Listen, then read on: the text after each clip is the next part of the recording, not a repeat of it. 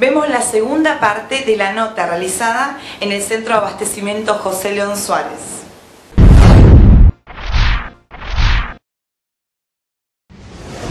¿De cuántos locales estamos hablando hoy? Estamos hablando de 18.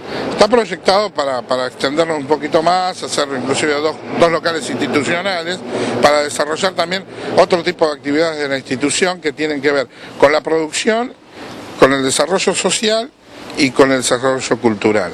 Y también sanitario, porque nosotros contamos con dos centros de salud que, que, ya están trabajando, uno ya hace 10 años, van a ser 10 años, y el otro está trabajando hace 3 años, y bueno, eh, trasladar todo, todo, toda esa actividad que tiene la institución e inclusive algunas actividades que tienen que ver con lo productivo que está en Pilar, que tienen que ver con este, toda la producción de alimentos, de carnes, eh, a través de la crianza de, de aves, eh, vacunos y y porcinos y poder traerlos acá y desarrollarlos acá, como también algunas actividades más que tienen que ver con la producción de todos productos caseros, que tienen que ver con mermeladas y todo lo que sea envasado. La intención es que no se repitan los rubros.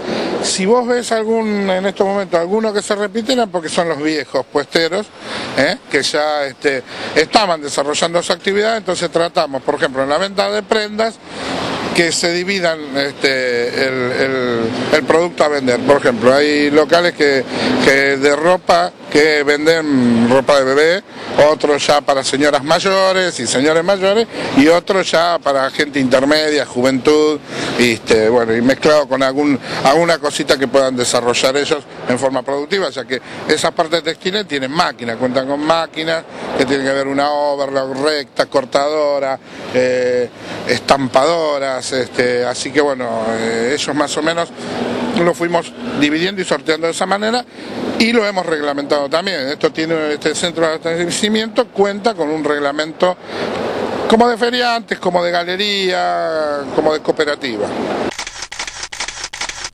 ¿Cuánto hace que estás vos acá trabajando? 27 años, 27 años, toda una vida. Ha cambiado mucho esto de los últimos, sí. últimos años a hoy, ¿no es cierto? Sí, sí. Sí, porque antes era muy precario, todo era una feria eh, que no había dado la municipalidad, eh, porque nosotros trabajábamos en la calle Belgrano y cada uno era vendedor ambulante. Entonces eh, la municipalidad no, nos dio una feria así precaria como para salir del paso y limpiar las esquinas y todo eso. Bueno, pero ahora nada que ver, ahora estamos requete bien. Sí, aparte del punto de venta es muy bueno. Aparte antes estábamos encerrados, o sea que no se ve, no teníamos vista a la gente, o sea que la gente tenía que entrar para vernos. Ahora no, ahora es distinto. Al estar enfrente de la gente es distinta la venta. ¿Y, y vos notás, digamos, una diferencia que se incrementa la venta con respecto a cómo estaba antes? Sí, la venta y la comodidad, porque la venta en sí, en todos los rubros, está medio flojo por la situación. Pero la comodidad, la limpieza y la, la comodidad más todo es muy buena. La verdad que es, es, es un da gusto trabajar así ahora. ¿Cuánto hace que, que, están en, que está usted trabajando? En actividad, entre la Feria Vieja y esta, 24 años. ¿Y qué nota que cambió, digamos, lo que era la feria anterior a esta? Y ahora estamos apoyados, estamos respaldados, no estamos solos, no peleamos contra nada y avanzó un montón. Antes eran unos localcitos de chapa, pulmón, porque cuando vinimos nos dieron nada más que dos tirantes y lo tuvimos que armar a pulmón, cada uno con su dinero, su chapa, revestirlo como pudo y arrancar. Y ahora gracias a um, políticos, gente amiga y gente que creyó en nosotros y vio que queríamos seguir trabajando, pudimos conseguir esto. Nos apoyaron muchos, muchos. Y nos dieron también materia prima y un montón de cosas.